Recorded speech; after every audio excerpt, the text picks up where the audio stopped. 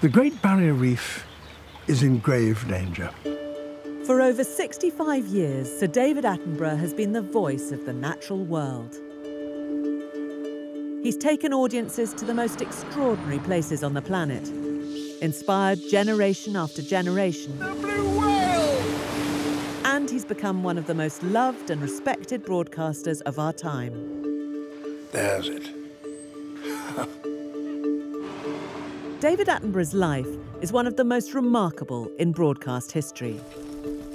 He'll be remembered as the man who created natural history programming on such a scale that it became a global phenomenon. He has a way of explaining difficult issues and taking people to these amazing places that's deceptively simple.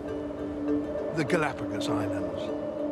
These have been called nature's greatest experiment. So the truth is, there's no one like David. In a career that spanned the age of television itself, David's produced some of its most iconic moments. Ha ha! And he's pioneered new filming technologies to bring his stories to life. Nobody has ever dived as deep as this before on the Great Barrier Reef. But audiences rarely get to see the man behind the lens. Don't you start that, oh dear. Someone said that if you're tired of the history of life, uh, you really must be tired of living. Can't believe that's true. That's not.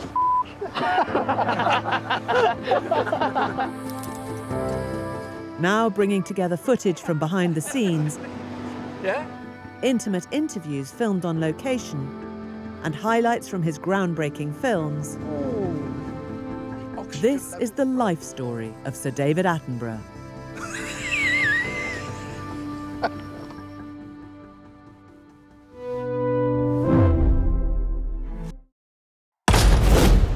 Here we go!